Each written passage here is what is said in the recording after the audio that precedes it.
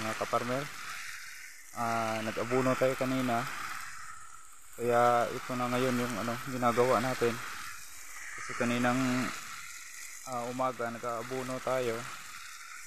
So hindi tayo nakapa hindi tayo nagdidilig kaninang kanina kasi mainit na yung panahon. Tapos yung ah, pagdidilig kasi natin, mababasa yung dahon. So iniiwasan natin yung mga kaparmer na mabasa natin yung dahon na nasa stress pa yung tanim, stress sa init. Kaya dito ngayon sa gabi na tayo nagdidilig para kahit mabasa natin yung dahon diyan, nakapagpahinga na yung tanim, nasa relax na kalagayan na siya. So pwede na nating basain yung dahon. Ang problema kasi diyan mga kaparmer, bigla siyang mabasa lalo na sa mainit ah, stress niya masyado sa init. Ang mangyayari is ano magkakaroon ng punggos yung dahon natin. Madaling masira yan mga kaparmer ma maninilaw mabubulok. Kaya iniiwasan natin yan. Kaya kung ano kung sa umaga kayo nag ah, nag-a-apply ng abono tapos ganito na hindi nyo maiwasan mababasa nyo yung dahon kasi gaya nito. Sa pinakapuno nyo pa mismo kasi nagtap pruning kayo may mga dahon.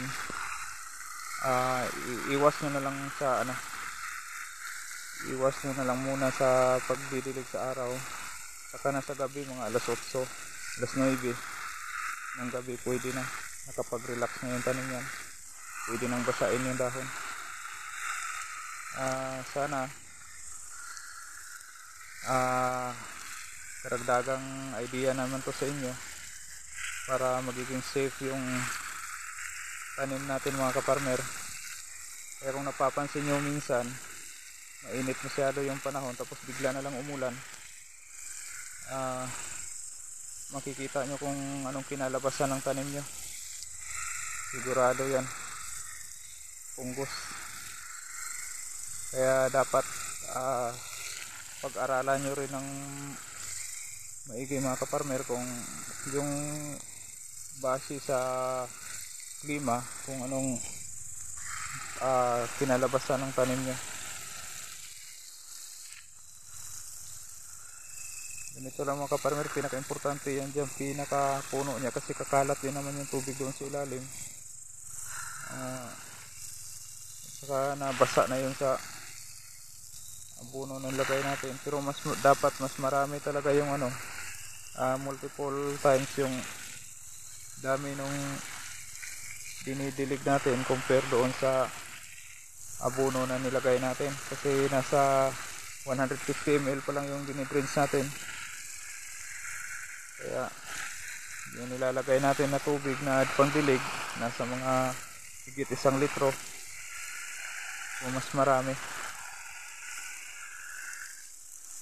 yung mga sanga na nasa ibaba mga kaparmer magbibigay yan ng bunga. Kaya yun yung mga sanga na sumasayad sa lupa yung bunga.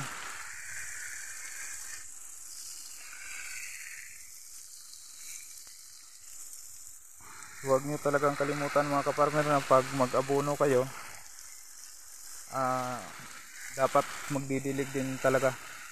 Lalo na nito mga kaparmer na marami ng gaya niyan mga bunga na lumalabas ganyan. Ganyan. Pag once na ano hindi kayo magdidilig mga kaparmer malaking chance na hindi tutuloy yung mga bunga. Maano yun sila. Parang stress sa hapni ng abono dapat din naman talaga kasi pag magpapakain painumin nyo ng tubig. Saka yung tubig talaga yun yung mag ano magpapa ah, tumutulong sa pagpapa kalat ng mga nutrients doon sa tanim sa katawan ng tanim. Kaya kailangan talaga. Gaya nga rin ng tao lagi kong sinasabi na pagkatapos mong kumain so kailangan mo talaga uminom ng tubig. Kaya dapat painumin mo. Ah, subukan mo kumain. Pagkatapos huwag kang uminom ng tubig. Anong mararamdaman mo? Komportable ka ba Ganon lang din sa tanim mga kaparmer halos pareho lang din Kaya sana mga kaparmer, nakapagbibigay ito ng idea na naman sa inyo. Laging tatandaan mga kaparmer na magsasakang may alam, maginhawa ang buhay, ngunit huwag lang ipagmayabang sapagkat Diyos ang nagbigay. Maraming salamat mga kaparmer.